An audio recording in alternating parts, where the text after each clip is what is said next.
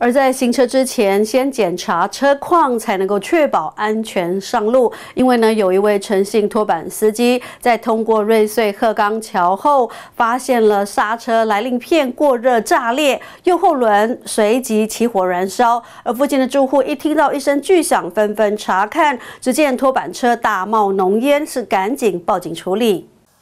砰的一声巨响，民众外出查看，看见桥头的这一部拖板车右后方起火燃烧，冒出阵阵浓烟，吓得赶紧报警处理。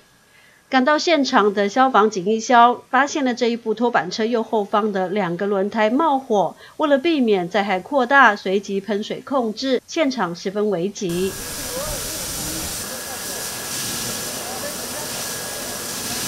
拖板车诚信司机一句油沉的诉说事发的经过。机械故障啊，刹车造成过热。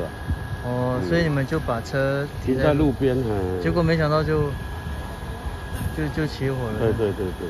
那这次它是轮胎烧掉几颗啊？哦，两颗吧。